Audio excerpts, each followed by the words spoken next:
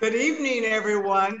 We have a fabulous lineup for you, some great guests tonight, and they tell you everything you need to know about why you can't miss at the virtual table and you can't miss reading the Chicago Sun-Times. We have a special offer to offer you tonight just for at the virtual table viewers. We've amped up our digital offer offerings to bring the Sun-Times to you wherever you are.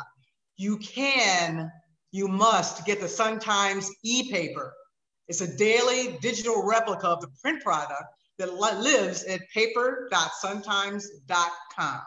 You can get it with a special digital offer that gives you unlimited access to both the e-paper and every story at suntimes.com for only $2.49 a month. Special offer only for at the virtual table fans, $2.49 a month. You can learn more and subscribe right now after the show. Not, not right now, but after the show at suntimes.com slash subscribe. Suntimes.com slash subscribe. Please be sure to stay informed with our essential coronavirus coverage and our top political coverage and continue and consider uh, subscribing to our podcast at the URLs on your screen. And now I'd like to introduce my co-host, the intrepid Washington Bureau Chief of, for the Chicago Sun-Times, Lynn Sweet. Hey, Lynn. Thank you, Laura. And hello, everybody. Hello on this eighth night, night, this eighth night of Hanukkah and a week before Christmas Eve. We've got a lot going on tonight. Let me just introduce who our guests, and then we'll break them up into segments. We'll have, and we're going to start with the last. We're going to talk about Michael Madigan, what happens to him with state representatives, one Republican, Tom Demmer, one Democrat, Stephanie Kifowit. We're going to, we are hoping to have Professor Michael Eric Dyson with us. Uh, he's hopefully will be joining us at some point in the show, but we're going to start now with two great Democrats who have run statewide, Illinois Attorney General Kwame Kwame, I cannot talk tonight, everybody. Illinois Attorney General Kwame Raoul and Illinois Comptroller Susana Mendoza. So we are talking to you mainly about the Biden transition right now. So I want to start with you, Mr. Attorney General. You have been on the front lines of a coalition of Democratic attorney generals who have just been fighting the Trump administration in these multi state lawsuits. What's it going to be like? Do you and your other Democratic attorney generals plan on playing offense to go to defense now? Well, it, it, thanks for the question and good evening, and good evening to you and your audience. Um, it depends on the issue. Um, the while uh, we've been, as you indicated, we've been active during the Trump administration. Um, you know, challenging some of, uh, of the president and, and some of the agency's policies. Uh, certainly during my two years and prior to my two years, Lisa Madigan uh, uh, collaborated with uh, colleagues from throughout the country.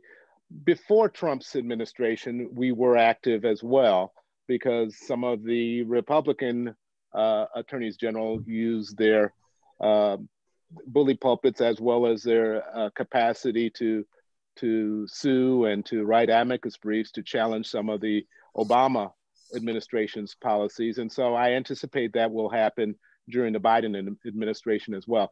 It should be noted, though, that you know not all multi-state actions are of a partisan nature. There are many that are are, are bipartisan in nature, and so uh, there has been bipartisan efforts to to send messages either to Congress or or to some of the the federal agencies as well. As an example of that, that Google lawsuit that is moving today. Yeah, and that's in several parts because you know uh, we we are part of a bipartisan coalition that uh, have, have, filed a lawsuit, antitrust lawsuit, uh, based on the search engine um, practices of Google. There was yesterday there was a Texas-led uh, uh, coalition that was strictly Republican uh, AGs that that filed a, a lawsuit against Google based on the advertisement technology. Uh, so there, there may be con- consolidation of that in the federal government's actions in the future. But as of right now, I'm part of the bipartisan coalition that filed today. But, and Madam Comptroller, I'll get to her in a minute. But just talk about the politics of this, Kwame. You have been, these attorney generals have been highly partisan right now. Look at this Texas lawsuit. You had what, 18 or 19 Republicans who signed on, Republican attorney generals who signed on to an attempt to overthrow the election result. How well, that was un- that was unconscionable. That you know, I, I, I you know, these uh, are the guys you want to work with. Well, some of them, some of them I've developed relationships with, and and and we can't ignore the politics behind the scenes that probably led to the decision making for some of them to join that lawsuit, notwithstanding their better knowledge of the law, given all of the decisions that had been made at a, in state courts, in federal court, and at the Supreme Court for that matter. These decisions had, uh, uh, with regards to the integrity of these elections, had already been made and, and decided. And some of the actions were they were challenges were actions uh, taking place where the the the pre- presider over uh, like you take Georgia, for example, the Secretary of State is a Republican sec- Secretary of State. And so um, it's unfortunate that they signed on to those lawsuits. It's unfortunate that members of uh, Congress were had their arms twisted to, to, to, to sign on to that lawsuit because it had no basis in fact or a law. Well, you know, Attorney General, you make the, the problem here, though, is that you point out there's politics involved, and they're not. There shouldn't be politics involved in your work, in the work of your colleagues. So, so why why is that? And, and, it, and when the shoe is on the other foot, can we expect to see some political decisions being made on your side as we go forward with, into the Biden administration? No, I mean, it, there's certainly policies that are are more common for Democrats to embrace because they're consistent with you know access to education and access to healthcare, which are tenets of being a, a, a, Democrat. But that that's different from just being purely political, doing something because you're a Democrat or doing something because you you're a Republican because you don't want to stray from um, what your party is doing. Well, it wasn't. Um, it really wasn't just about what your party was doing. It was about protecting the president or or or, appearing to to to want to side with the president, because even though it was very clear that the law was not on his side. When you say that. that, that yeah, I, I agree with that, and I would even go further to say it's and some of it was about self-preservation or other self-interest. I won't go to into too much details about the no, what, please. What the, what, what the Texas Attorney General uh, the, the ability of Trump to maybe cut these guys off on their legs. So, so let me ask you this. Uh, by the way, happy anniversary, Susana Mendoza. Ah, thank you. What year is this for you? Do you um do you dig my perfectly positioned photo of my hubby and I back there? The um, young bride. How many? Yeah, years? it's our ninth ninth anniversary, and uh, I'm so glad it's the ninth and not the tenth because ten is my favorite number. And next year, hopefully for the tenth, we will be back to somewhat normal and can actually go out for dinner or go mm. someplace special for an anniversary. Wouldn't that be nice? Yeah. he's awesome because he was totally cool about me doing this tonight when we really should be eating. But it's all great. I love being with you. Everybody out there, is there no better way to spend your anniversary, your birthday, or that special occasion than at the virtual table at the Chicago Sun Times? And I endorse it. Dessert, you will every night. This is not for a guest, but you'll hear again. And for the dessert or the perfect holiday gift, it will be a subscription to the Chicago Sun Times. That's a right. Birthday, an anniversary for that special. Cheers to that. Lynn never misses an opportunity to sell, sell, sell. Shameless, and I love it. Yes. Anyway, anyway, Susana, I want to follow up on what Kwame was saying about uh, the self-interest of the Republicans, who I guess were afraid of who knows what from Trump. What is going to happen in the days ahead because we have these election deniers? What happens to our nation? Well, it's it's really sad. I mean, I feel like um, first of all, hi to everybody. Um, but I think that what we're seeing here with the attorney generals that to me is so disconcerting is that it's not based on like an issue, like for example, healthcare or education. It's specifically around an election, which by definition is purely political, and an election that everyone has essentially, any legitimate entity has uh, more than validated, has gone for President elect Joe Biden. And it's it's really like it's a temper tantrum that instead of squashing it, they've uh, you know joined into it. I mean, my eight-year-old knows that if he loses at a board game in the house, he can't cry about it for all eternity. He certainly maybe cries a little bit. We give him a timeout and he's over it. He hasn't been crying about losing at Monopoly since November 7th, right? So it's really terrible. If it were just that, we could laugh about it. But the fact of the matter is that taking these legal actions uh, that are so wrong morally, frankly, and it, it they pose a real threat to democracy. And, and this is going to have lasting ramifications for many years and potential administrations down the road, including our ability to get to work quickly in the middle of a global pandemic that has already killed 300,000 plus people. And um, so many people are fighting for their lives. My brother being one of them, who's day 34 today in the hospital, um, fighting for his life from COVID 19 as a Chicago police officer. So I take this very personally, both on the um, you know personal side, but also as comptroller. You know, because every time I have to pay a bill for something like body bags, it makes it very real for me. And this should not be about politics. It should about be about respecting the will of the people who we all know voted overwhelmingly. I mean, you have what is it now? 8 million votes more for President elect Biden. He won the popular vote and the electoral. So let's just get to work. I mean, we shouldn't be playing these stupid games and people's lives are literally on the line and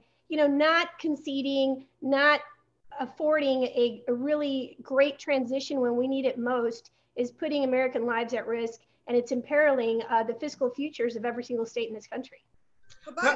Comptroller, how, how can how can how would you say this has impacted? I mean, your job in terms of your ability. You mentioned the body bags. What is what is going on? What is happening with our our state spending, with our budget, as a result of this kind of foot dragging, as a result of this not facing up to reality here? Yeah, sure. I mean, Laura, everyone knows that Illinois has had many years of fiscal uh, mismanagement. That's Nothing both, new.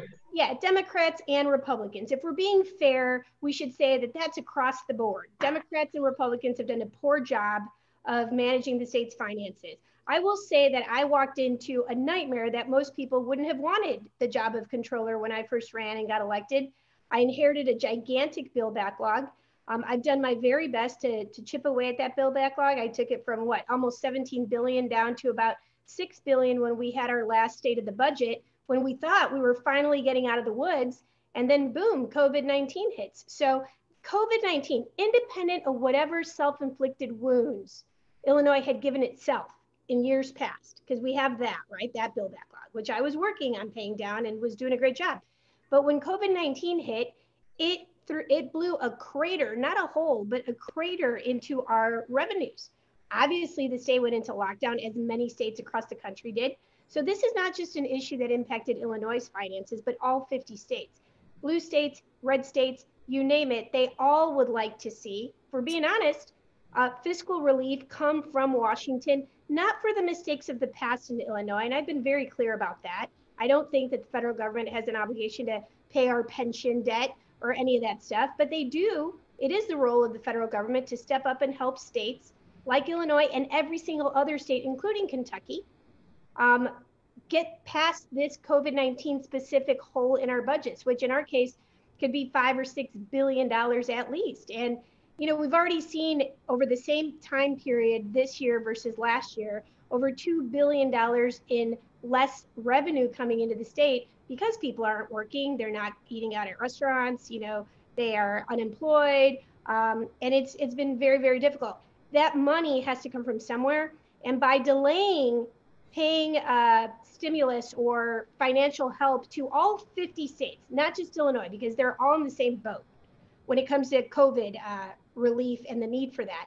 By delaying this, by playing politics with this, all they're doing is making every state have to make tougher decisions that are hurting the very people that we're trying to help. In Illinois, we've had to borrow billions of dollars right. just to, to get through the gap, right? Where if they gave us that money from the get go, because I think we'll see it maybe a few months from now, you know, why make us have to pay interest on loans that we're borrowing from the federal government? It, it's self-defeating and it's it's just not fiscally smart. So we're doing the best we can with tough circumstances. Yes, Lynn, I'm sorry. the real world politics. Right now, city and state uh, relief is not in the bill. So right. We heard you, but let me ask you this: with the Biden administration coming in, unlike in the Obama White House, where you had you know a lot of Illinoisans joining it, uh, most of the cabinet spots are being filled.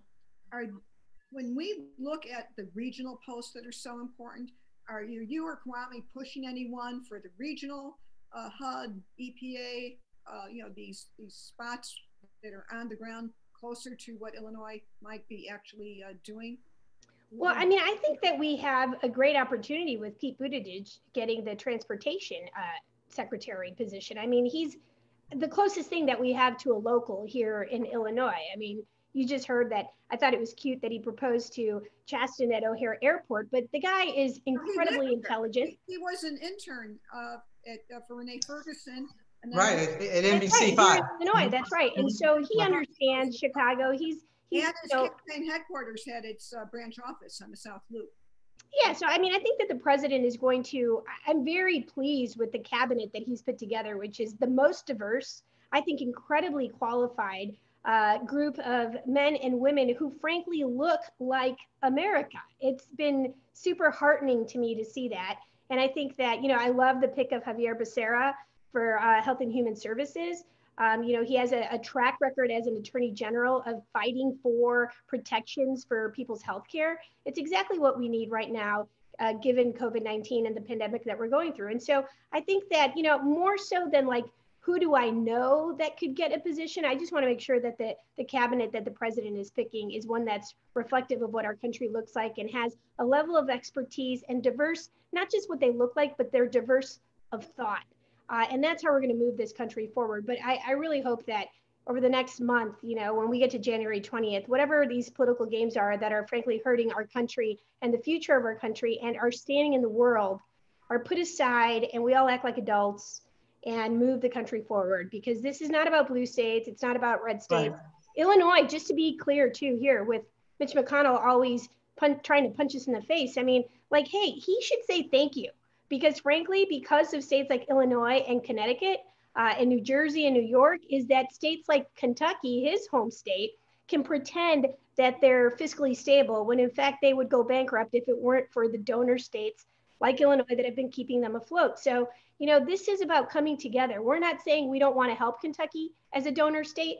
What I'm saying is that Kentucky, of all states, should be saying that they understand the need to send federal relief to all 50 states. It's about the American people, not about, you know, Republicans or Democrats. Okay, I, Susana, that's I want to pause you there and, and just uh, let, let our viewers know that Michael Eric Dyson has joined us. Thank you, Michael. We're going to be talking about this whole issue of diversity in, in Biden's cabinet in a minute. But before we leave you and and uh, Kwame Raoul, I'd like to come back to Kwame and and, and, mm-hmm. and raise a, a, very important, very local issue that has been hot in the news this week, and that is this uh, mistaken police raid on the at the home of a, of a, of a woman's of African American woman social worker, Anjanette Young, which we're all familiar with, especially here in Chicago, was a terrible, terrible thing. There's a video of it. Uh, the mayor is is is is uh, had, had been forced to apologize over this. It happened didn't happen under her watch. It happened under the previous mayor in terms of the police department conduct. But I want to bring this to you, Because as you know, your predecessor Lisa Madigan was very in, involved and very uh, it, it, was a, played a very important role in bringing the consent decree police reform consent decree that, that, that, Chicago is now under, which is supposed to change, supposed to stop these kinds of behavior, this kind of activity. Yeah. So I'd like to get you. I get where do we stand with the consent decree, decree and so how? Cont- and what and what do you and what do you say to, to voters who say how could we got this court order now? Well, how, why is this kind of thing still happening? Well, the important thing to note about the consent decree, uh, the entry of the consent decree didn't mean that the that all problems are solved. The the the the, the most important three words uh, in Judge Dow's order entering the consent decree was let the last three, let us begin.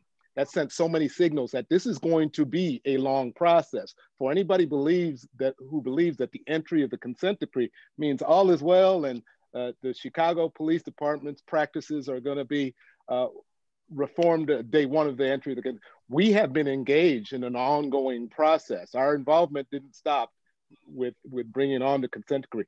Uh, I just I penned a letter back in September addressing this very issue of wrong raids, um, encouraging the Chicago Police Department to to end no, the no knock uh, warrant uh, policies and and to develop policies to to to make sure to the best degree possible that wrong raids don't occur. We saw what happened in Kentucky with Breonna Taylor. That was a wrong raid. Uh, that you know the the the issue that has hit the news this week with regards to the the is not the first.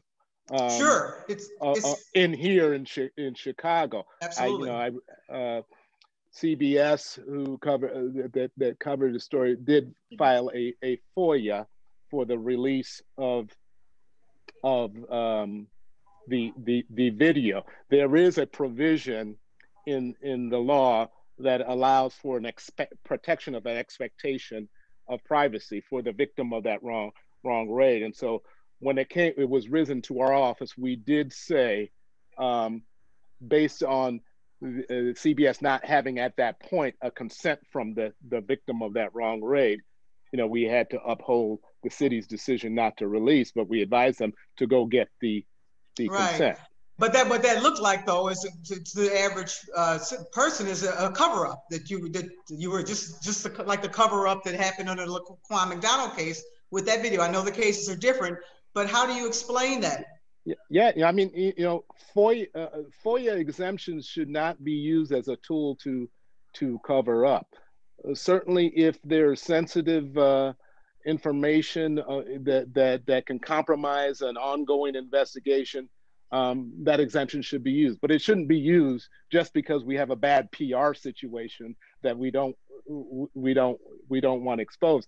And and we send that signal to to to to municipalities as as we advise them and and, and we make certain that we we do that balancing act when things are are uh, uh, appealed up to our uh, public access office. And so um, in this situation, uh, you know, it's unconscionable um, and and um, that's why you know before this week, you know, several months ago, we we wrote a letter uh, to to CPD uh, along with a coalition which uh, uh of uh, who are members in the party to the consent decree uh, action that is ongoing to to address this very issue of wrong raids and no knock warrants.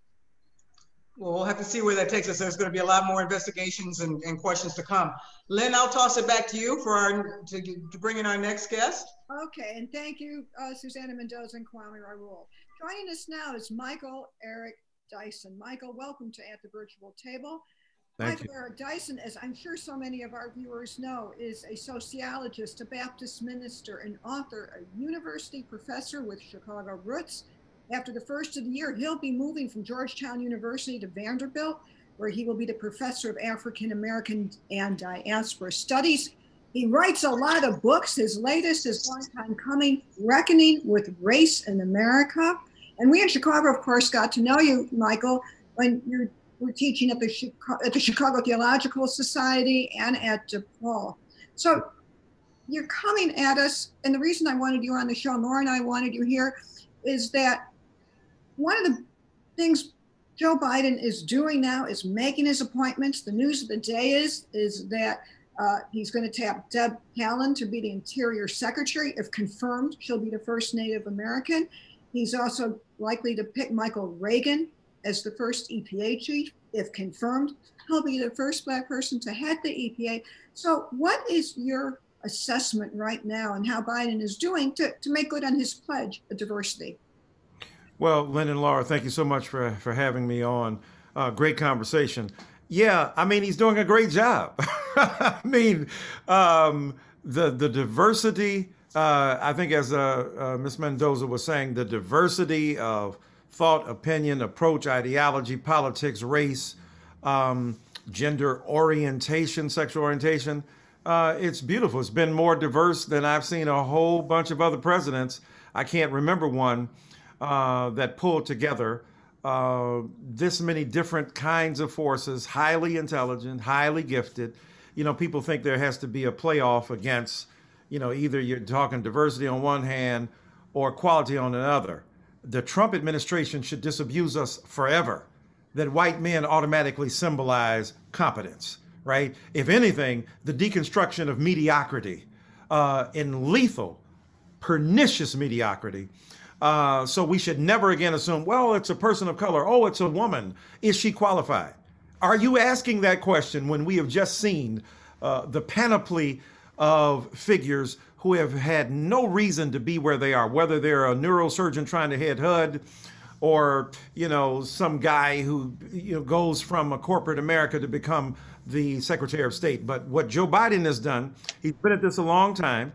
He's, he's been thinking about this quite a long time.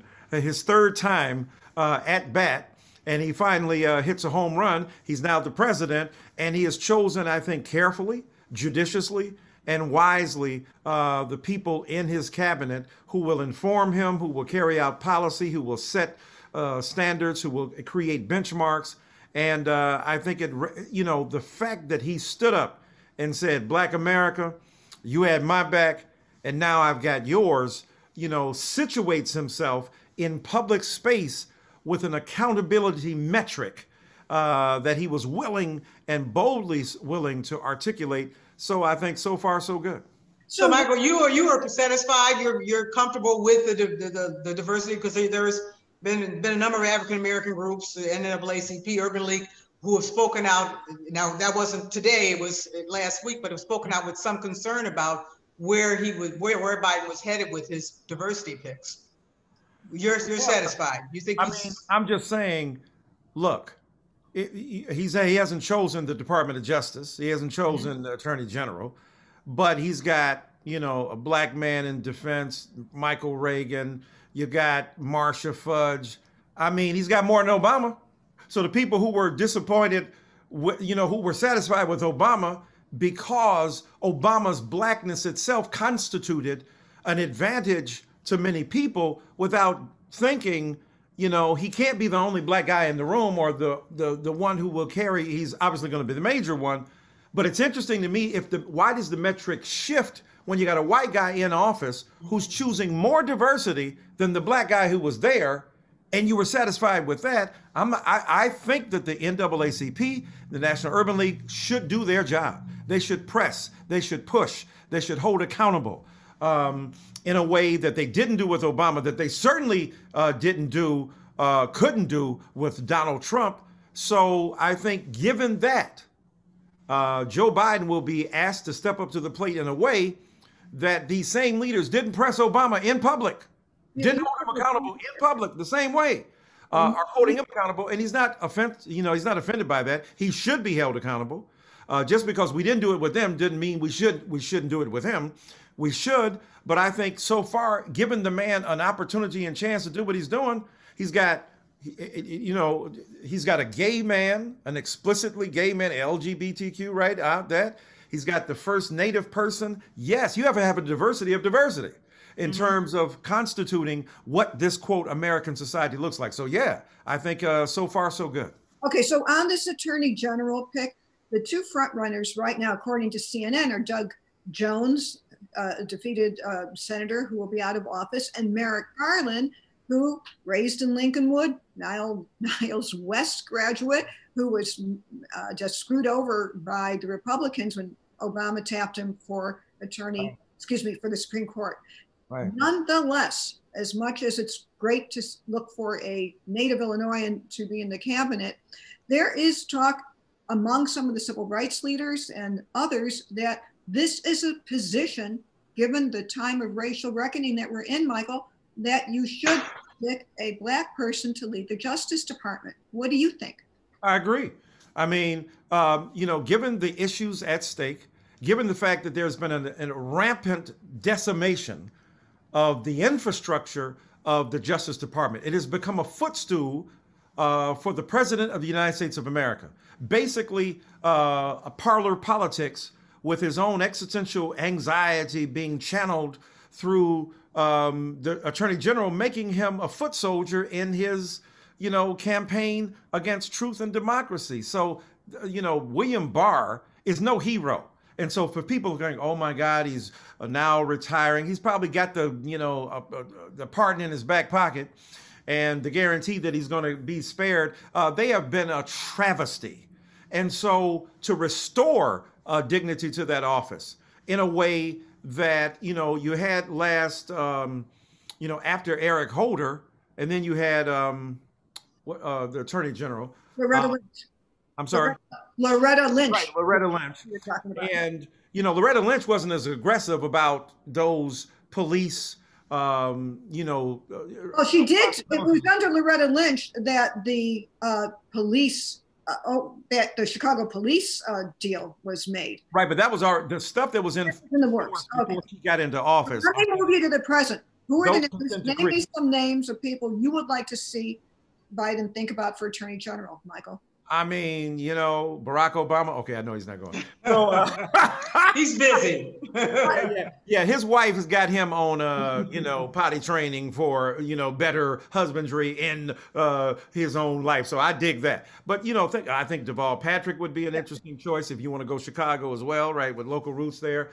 Um, I think that Sally Yates has an understanding and conscientiousness about the issue of race that is serious. So it's not a one-to-one correlation. We got we got my man on the bench there, uh, Clarence Thomas, and just having a black face in a high place doesn't make a difference if you don't have the right kind of consciousness and conscientiousness. So I think Sally Yates uh, or Deval Patrick would be two good picks uh, to think seriously and critically about it, leading the nation's efforts to try to restore dignity and decency to that office, but also a bit of independence, right? So that you're not the yes man of the president of the United States of America, and you've got to deal with those consent decrees. You got to talk about the degree to which these police departments have to be held accountable. And if you're disinclined to speak about defunding the police, as if, and this is where I would argue with the former President Obama too, although I get his point. I, as a leftist and progressive, we're not exempt from understanding marketing. And if you're going to say something, do you want the commercial or the product? Right? We're talking about, just so everyone is in on what we're talking oh, about, I believe, Michael, you're talking about where Barack Obama. Right. We ought to lay off this defund the police slogan because right. it's killing us in, in the polls. Right. And yeah. by the way, Biden said that when he had this leaked meeting with civil rights right. leaders last week, and I listened to it. He basically said the same thing. Like, can you figure out another way to explain what you're doing because eh, but, we have the Georgia Senate election. Right. I'm down with that. Look, I'm down with practicality yeah. and strategy, but here's the point. Yeah. Obama's a real one of the smartest political guys in the world. But if you're if you're angrier at the people using the term than why they have to use the term, you're really undercutting the moral legitimacy of a viewpoint that says, bruh, are you more mad at people using defund the police than cops killing black people? And where is it? Why is it that the the you know that the the vast majority of your angst is directed at those people who deploy the term? Because are you telling me really that oh yes, let's call it uh, reimagining policing? That well, this is that's what he did. 21st Century Police Task Force is what the uh, yada yada yada. And I tell you what, let me, move on a little there's bit. no possibility of reforming the police. They've tried that already. We've at least got to try something different. Lynn, Lynn, I'd love to I'd love to get Kwame Raoul's uh, perspective on this. Uh, what do you think about Michael's point that there needs to be an African American or preferably an African American in that Attorney General slot? And and and what what names would you suggest for that for that role? Well, I, I don't know that I'm prepared to give spe- uh, specific names, but I, I, I will uh, grab onto his, his one of his second points that the black face alone uh, doesn't mean that you have the policies that, that matter most. You mentioned Clarence Thomas, uh, uh, uh, Ben Carson. there are a number of people I can name that who would, would not embrace the type of policies that we need right now. I think we need to look as much as we're looking at the cabinet positions, we need to look a layer down as well. I just got just today appointed as a co-chair of the uh, NAAG's Committee on Civil Rights. So we're watching this uh, very carefully. And, and we made sure as attorneys general, as the Democrat attorneys general in the George Floyd uh, Justice and Policing Act, that it was amended to give state attorney generals uh, the power to do patterns and practice investigations, the kind of which that uh, Jeff Sessions and Barr were not doing, and Loretta Lynch and and, and mm. uh, Eric Holder did do, and, and AGs before them, and even under Bush. So again, so uh, there's no when you mention NAAG, that's Nas- National Association of Attorney General. Attorneys General. And it's yeah, so, the National Association of Aspiring Governors. there you go. Okay, so I want to uh, then. So, but I, one last point. So, yes. so we have as we look at the, the, the the cabinet positions, you have to look a layer down too. So, like Deputy AG of Civil Rights, they're going to be getting their hands a lot more dirty than the AG themselves sure. on some of these issues. Okay, big question, Michael Dyson. Do you think then that Joe Biden can and will be bolder when it comes to these issues of race, racial reckoning, addressing the big issues of the day that of this period that we're in right now? Do you think Joe Biden will be more bold than Barack Obama? Well, of course, and he has the right, he has the privilege to do so, right?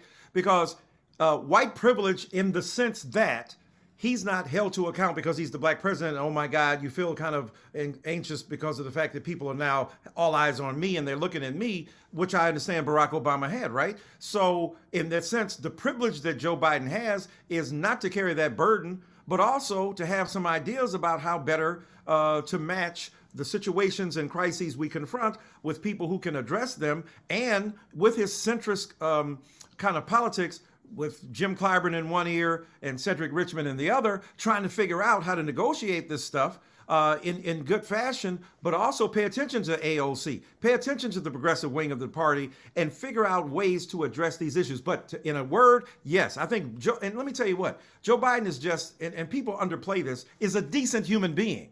And being a decent human being makes a difference to have both empathy, the empathy that drives policy decisions, or at least to embrace certain policy decisions. And when you make tough decisions, to have the consideration of the people over whose lives those decisions will exercise some influence. Uh, is extremely important. And him being one of the nicest guys that's been there for a while, and his inclination to also reach across the aisle, reach across within your own party as well, as opposed to also reaching across uh, the aisle for those who are in the, uh, Republican Party. But yes, I think he will be inclined to do something well and good and powerful. I think that Vice President Harris being there is going to be a boon as well. And I think that uh, what what uh, Reverend Dr. Kwame uh, talked about there uh, in terms of the the bench. Let's again. Obama, you got to situate a bench. You got to make the pipeline full of people. And he wasn't inclined to do that. Because if he was inclined to do that, even the birtherism attacks and the virulent racism that Obama confronted, if he had been more strategic and conscientious, which is why I'm a little bit tougher on him about spare me your your discourse about uh, the language deployed for uh, defunding the police when you ain't mad at the people, black people who are getting killed and died out there. Show some anger about that, bruh. So the point is, you didn't, when you were president, build a pipeline that could have had many, many more black people in place to become eligible to be elevated because they were in those subordinate positions. So there are many strategies that need to be deployed. And I think, quite frankly, Joe Biden has more of a feel growing up with black folk in Delaware and feeling them intimately than many other presidents. And I think it'll be used to our advantage. Wow. Before we wrap up this, seg- this segment and we go to state politics, I wanted to just ask you, Michael, then, do you think that Biden, given everything, should appoint a racial equity uh, advisor, you know, that NAACP was pressing him to, you know, carve out that very special kind of a job. What do you think? I think it would have been great. It would have been great to have it. Not too late. He still could do it. Oh yeah, that's what I'm saying. I'm saying it would be great for him to do that. Uh, we should have had one two two administrations ago, three administrations ago. We should have had one the last administration. But the point is, yes, because you know, again, the burden that say a guy like Obama carried, look, you're doing all this other stuff. It'd have been great to have somebody in that lane responsible for that so that you could be relieved to do other kind of stuff but exercise your executive authority but i think absolutely to pay attention to this to show that it's serious if you elevate fema to a cabinet level position because you think imagine emergency management on a federal level is critical then elevate that to a kind of cabinet position or something uh, a race czar who can speak yeah. to these issues in more nuanced and complicated fashion. I think it would be beautiful. Okay. And Michael, just your point is we have one on climate now, climate czar. So we'll see. Thank you for joining us. Hope to have you back on the show. It's yeah, been great. uh, happy new, happy holidays, happy new year to you. We're signing off with Michael Eric Dyson. And Thank you, Michael. Throw it to well, Laura to bring us into state politics and what's going to happen with Mike Madigan. Laura, take it away. Well, Thanks. And Mike, Mike Madigan, Lynn, you, those are the two words that are on the lips of everyone working in, in state politics right now. And we have two very key people who've been right in the mix with us. Representative Tom Demmer, who is a ranking Republican, was a ranking Republican on the Mike Madigan investigative panel that's, just wrapping up, and State Representative St Stephanie Kifowit, who is the first and only, remains the first and only uh, uh, legislator who has dared to suggest that she might challenge uh, uh Mike Madigan for House speakership. So I, I want to, Tom Demmer, I want to start with you in terms of what happened this week. There were some fireworks around that investigative panel and maybe some uh, some leftover sore, sore feelings because of it. But what's your perspective on, on how that went and, and how that impacts where, where we're headed next month for the, for the uh, coming election of perhaps a new speaker? Yeah, well, first, thanks, uh, Lynn and Laura, for having me on this evening. I think this is an important conversation for people uh, in both political parties, really across the state of Illinois, talking about the longest serving speaker of, how, of the House in, in US history. What we saw this week in the Special Investigative Committee uh, was, I think, uh, an abdication of responsibility. The Special Investigative Committee was put together at the end of August with the exclusive duty to conduct a thorough investigation, uh, largely in response to the federal court filings we've seen that have implicated Speaker Madigan in a long running uh, scheme of, of uh, rewarding and influencing public officials. Um, the committee, though, in 106 days, only met three times and only heard from one witness. And it's hard to say after a, an experience like that that we conducted a thorough investigation. Uh, we made motions to use the committee's power of subpoena to bring in Mike Madigan, to bring in Mike McClain and Pramaggiore, individuals who have been indicted by uh, in federal court for these actions. In the uh, ComEd, in the can, ComEd investigation you're talking that's about. Right. Yeah. That's right. And you know that's how you uh, our, our duty as a committee was to investigate under the House rules as a member of the House of Representatives. That's how you conduct a real investigation. And that's not at all what we saw happen uh, when a, a, uh, uh, a, vote was taken on Monday to hear from no additional witnesses and then to immediately shut down the investigation and go no further.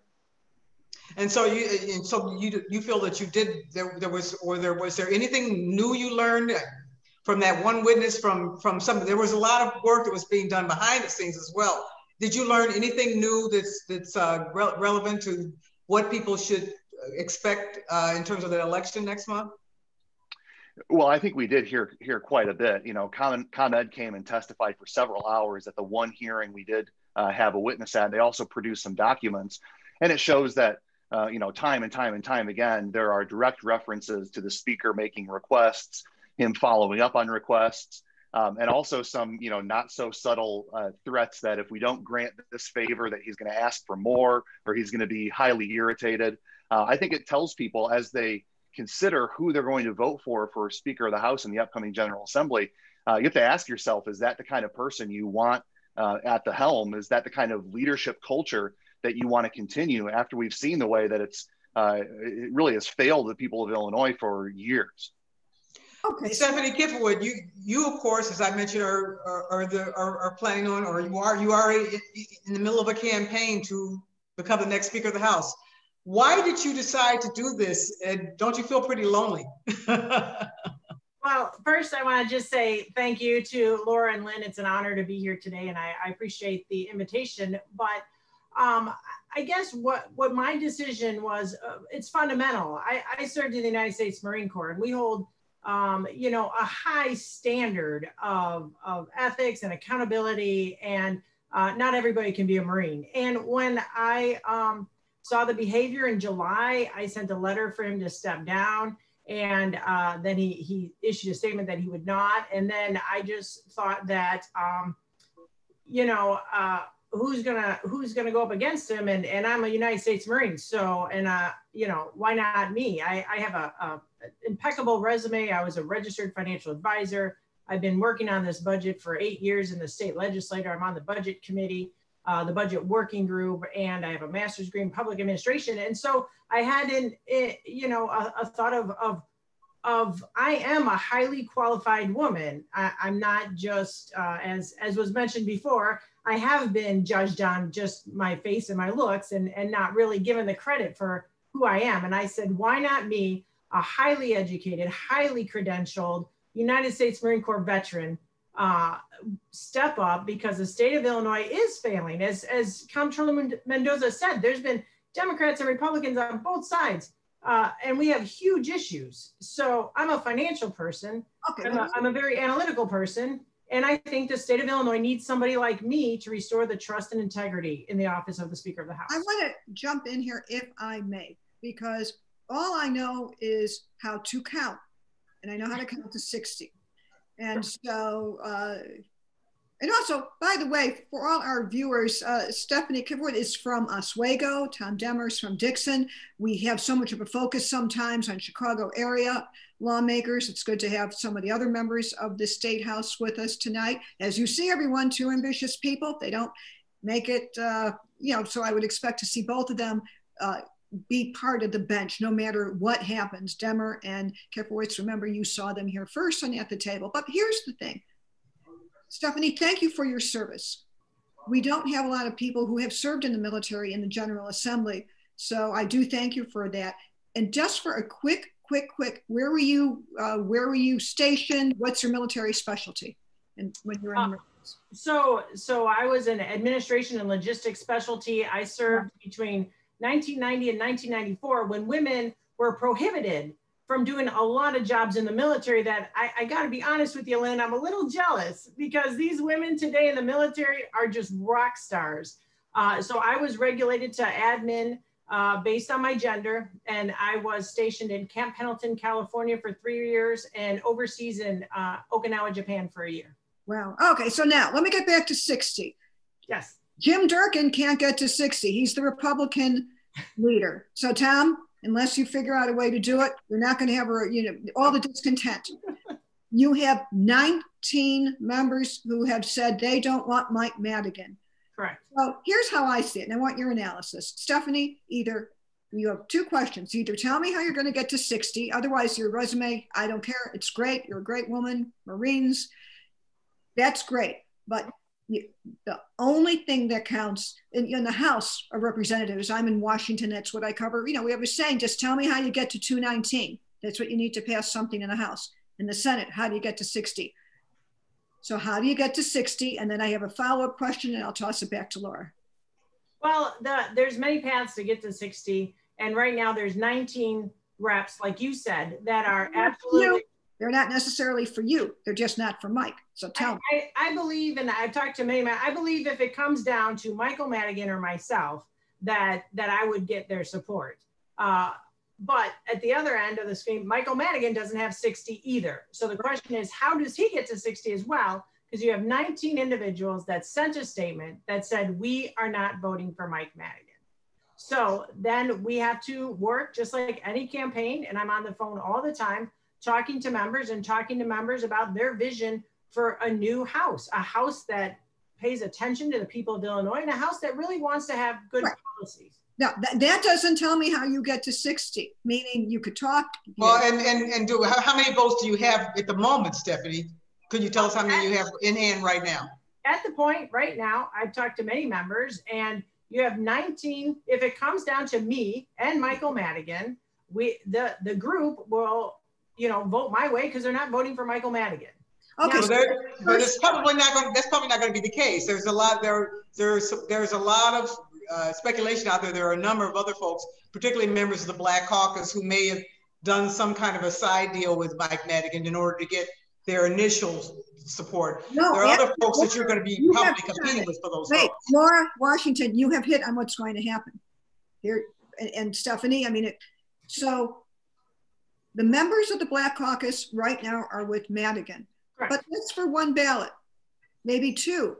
It seems to me the next Speaker of the House, according to Professor Laura Washington here, who just saw the future, will be a member of the Black Caucus because Mike can't put it together.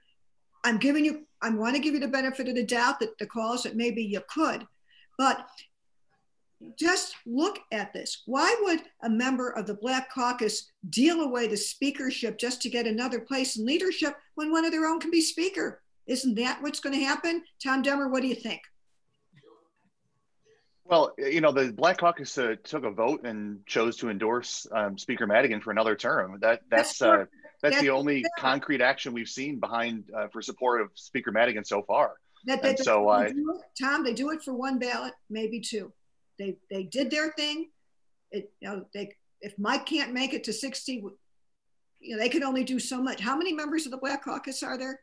I think it's like twenty-two or something like that. And how many overlap with the 19? No, there's just oh. one, right. And one. there we go.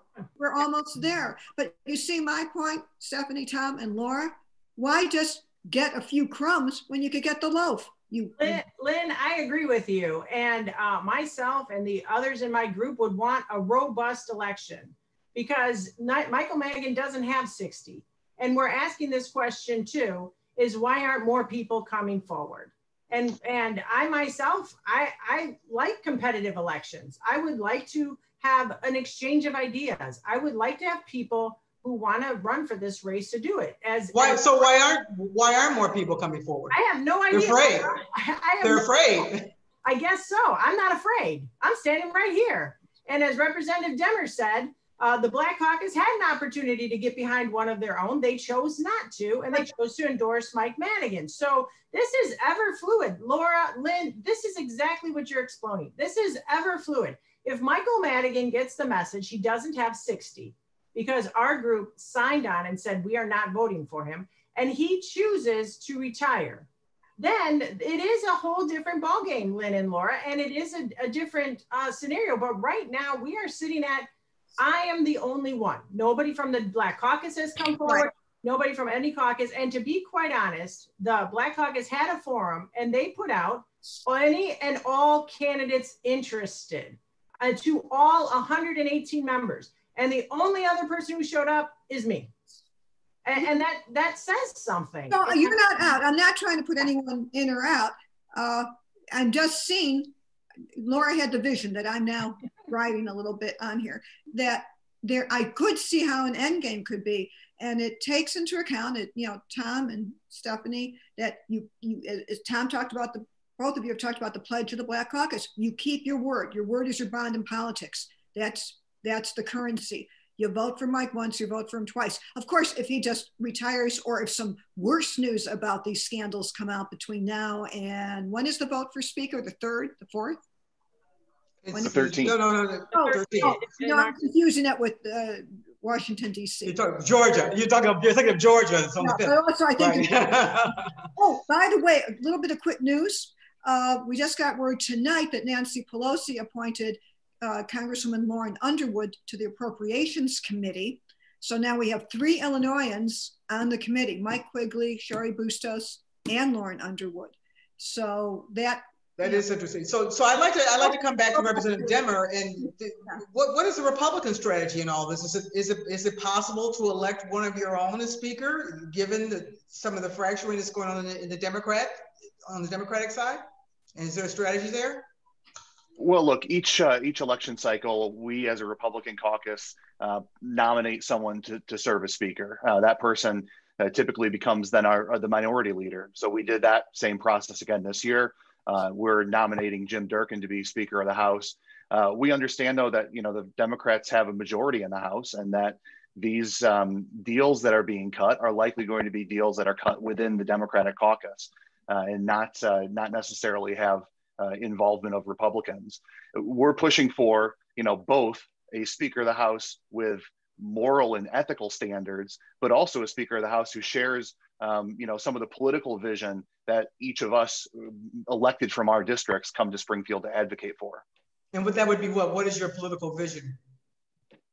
Well, you know, the first thing, and this is very relevant with the news we've seen recent days, is uh, bring back some fiscal responsibility and some sanity to the, to the state's uh, problems that, you know, the comptroller was on earlier talking about how COVID has uh, reduced our revenues by a couple billion dollars our deficit is much more than that. You know, our, our deficit existed uh, before COVID and it continues to exist now.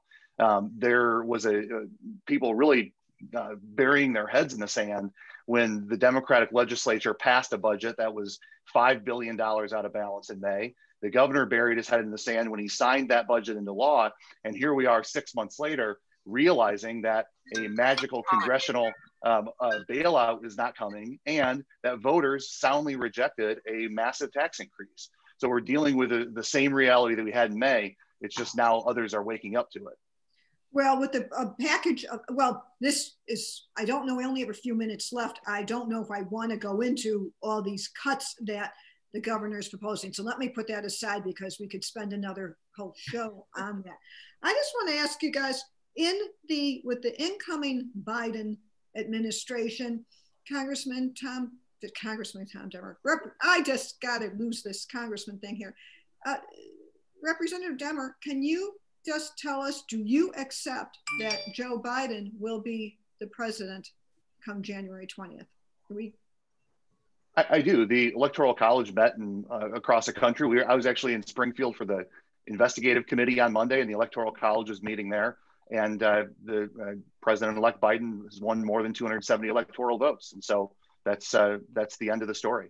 Well, actually, in a way, though, it's not because Republican President Trump is encouraging election deniers, and he's one of the top ones. How do we get past this, Tom? I think we need to understand that, you know, if there are substantiated allegations of fraud, those need to be investigated. But we can't simply cast a pall over uh, elections all across the country because people don't like the outcomes of those. We've had cases that have made it their way to the Supreme Court. Even Trump appointees on the Supreme Court um, have dismissed those cases or refused to hear those cases. Uh, we need to try to establish a better opportunity for us to respect the political differences that we have, uh, understand the diversity of the states and the, the, the, nation that we inhabit, and look for common ground, look for some level of decency in each other, and reach beyond what can be a very polarizing world if you live in those political bubbles of social media sometimes. Well, it's more than just polarizing. It seems to, uh, threatening our, our, democracy at this. But Laura, I know we're coming uh, to a close. I have a quick question, unless you had one to close out this well, on Madigan. Go, go right ahead, Lynn. Okay. Uh, with the Madigan uh, situation, do you envision any scenario where you just will be frozen in hundreds of votes? As uh, remember in uh, the, when there is once more than 100 votes for a Senate president, but it was open? Or do you think, you know, first Stephanie and then Tom, do you think this will be resolved within a few days once, once the votes start? Well, Lynn, um, that is a question that our group of 19 have talked about, and we are committed to doing all 100 votes to stand up for the people of Illinois and to get a new Speaker of the House. Uh, I, I, would hope that um, the speaker will realize that he does not have the 60 votes, that he's jeopardizing the state of Illinois, and that we need to transition and we need to start a new day in Illinois. And I think the people of Illinois want a new speaker. And I think we need to start embracing that there are other ways to do things than the one way Illinois has been stuck on for the last 40 years. Okay, and so Tom, it looks like the Democrats could just paralyze the House uh, until they get this uh, speaker picked. How damaging will that be? Quickly though, quickly. Well, yeah, it's you know we're going to have some very very big issues to tackle, not not just in responding to the, the uh, public health pandemic that we're in the midst of, uh, but also dealing with the financial problems that are right at our doorstep. Uh, I like uh, to be a student of, of, Illinois history, and like you said, there have been a couple times where we've gone through, you know, over a hundred votes to elect a presiding officer that could be the case again if the speaker chooses to double down and and uh, not to give up the the gavel without a fight. Um, but we have very important issues that the House and the Senate need to be able to address, and we can't just get caught in a Democratic political fight uh, and put aside those important issues. Okay, well, we will see. Well, Lynn, I would I would like to just give our our uh, Attorney, uh, Attorney General one one shot at this one too, because you're a former member of the state senate yourself. What mm-hmm. what do you what do you do you think we're going to be in a in a mid, in the midst of a endless balance next month, or how how, how do you see this playing out? I, I, I oh, you know I wish I could predict I, I, what I can share with you, Laura. I, I pray not, because you know I, uh, in addition to the issues that uh, Representative Demmer uh, uh identify, I met with my legislative team today to talk about the things that we need to do policy wise, and and it, it would be uh, a travesty to not be able to face all of these issues, the issues of social justice that we were talking about earlier. There are some legislative things that would need to be accomplished attached to that, as well as a broad range of issues dealing with protecting consumers and, and, and, so on. We can't have this paralyze uh, the, our state uh, doing the right thing with, with, regards to policy, with regards to appropriations, and, and with regards to dealing with the fiscal crisis that, that's on the table. It's time to get some business done. Exactly. That's a good place to end us. Lynn, you're going to take us out? I will. We're at a very dramatic crossroads right now in our state and national government. So thank you, Attorney General Kwame Raoul. Thank you, Comptroller Susana Mendoza was with us. Representative Tom Demmer, Republican, Democrat Stephanie Kifowit, who is the only candidate so far to replace Mike Madigan. So we've had a great show. Of course, we've had Professor Michael Eric Dyson with us for a segment two, talking about race and the incoming Biden administration. So thank you all our guests. But now I want to talk to you, our viewers. The Chicago Sun-Times, local paper, local journalism, original reporting. We're here to tell you about you and your community. We have multiple offers I want to sell you tonight on our digital offerings to bring you whatever you want. I want it, you're looking right now at the e-paper. I love the e-paper. I get up in the morning, I roll over, get my laptop fired up, and because I'm in Washington, I read the e-paper. I read it all the time. It's a great product, looks just like the real Sun Times. You can have it for only $2.49 a month. You could go to Sun Times dot com slash subscribe. We also want you to have a print subscription too, but I know we're talking to a national audience right now. So local journalism cannot survive without people helping us. And how do you help us? Just buy a subscription, $2.49 a month. It's a stocking stuffer. It's a wedding gift, a Hanukkah gift, bar mitzvah gift, christening, you name it, it's a great gift. Hope you could do it. And now I hope all our viewers, on behalf of Laura and I, have a great holiday next week. We'll be coming back to you next month to talk about the incoming Biden presidency just before the inauguration. See you then. Thanks for joining us. Happy holidays.